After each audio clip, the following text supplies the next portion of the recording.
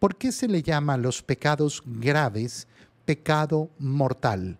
Se le llama pecado mortal porque destruye el templo de Dios. Lo que hace es expulsar la presencia de Dios en nosotros. Cuando yo cometo un pecado mortal, lo que sucede es eso que esa presencia, esa inhabitación de la Santísima Trinidad en mí, que se da por la gracia santificante, la pierdo. ¿Por qué la pierdo? Porque Dios no puede estar ahí donde está el pecado, ahí donde reina el pecado es como que yo ponga eh, un pesticida que eh, hace que eh, se ahuyente todo, todo lo que haya. Bueno, eh, ese pesticida es el pecado. ¿A quién ahuyenta? Ahuyenta la presencia de Dios, esa inhabitación de Dios en nosotros. Y ahí donde no está Dios, se ha destruido el templo. No hay un templo vacío, no existe el templo. Ah, no, bueno, sigue siendo templo de Dios, lo que pasa es que no está Dios. Si no está Dios, no hay templo. Que nadie se engañe, por tanto si alguno de ustedes se tiene a sí mismo por sabio según los criterios de este mundo, hágase ignorante. No, pero lo importante no es vivir en la gracia de Dios, ni confesarse, ni comulgar. Lo importante es que nos ayudemos unos a los otros. Lo importante es que yo tengo buenos sentimientos. Lo importante es que...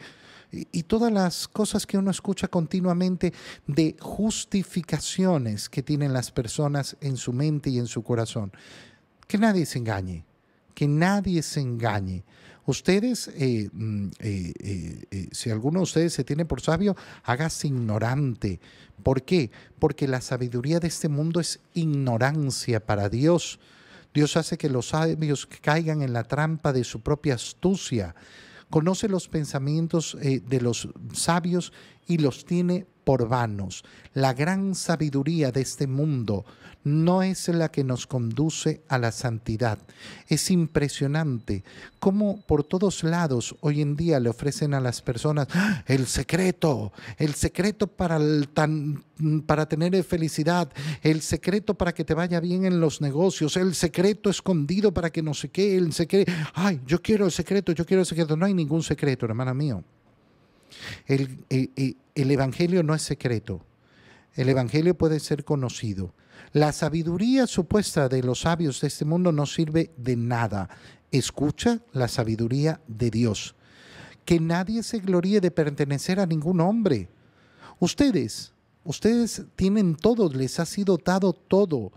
Y ustedes al único al que le pertenecen es a Cristo. ¿Por qué? Porque Cristo es el único que ha pagado con su sangre por ustedes y Cristo es de Dios. Por tanto, yo le pertenezco a Dios, me debo a Dios en Jesucristo que es mi Salvador.